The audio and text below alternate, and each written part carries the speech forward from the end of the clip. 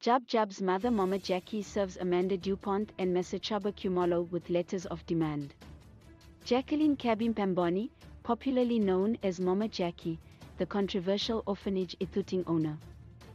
Ex-convict and mother of the ex-convict television presenter and rapper Jub Jub, has served Jub Jub's rape accusers with letters of demand. The accusers are actress Amanda du-Pont and former Metro FM presenter Masechaba Khumalo who's currently the Department of Arts and Culture spokesperson. One of Jub Jub's rape accusers is his cousin, but Mama Jackie has surprisingly not taken any legal action against her for now. A family decision, perhaps. Rape accusations spiraled from this point.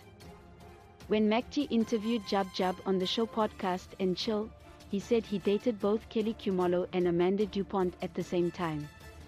Kelly was using Muti to focus less on his relationship with Amanda. Jub Jub said he smashed Amanda du-Pont, and that's the word that angered Amanda. Amanda took to her Instagram account to post a video where she told her followers the rapper raped her for two years.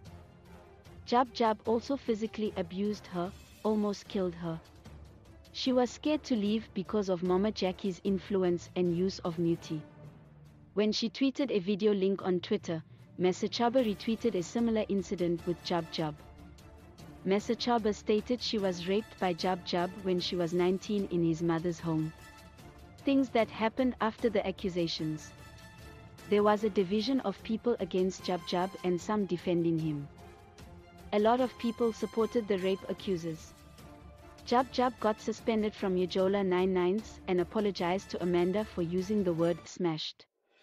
Mama Jackie's letters of demand to Amanda du-Pont and Masechaba Khumalo. Mama Jackie wants the comments about her being a criminal, having dodgy dealings with Oprah, having a hold over her son and using Muti retracted.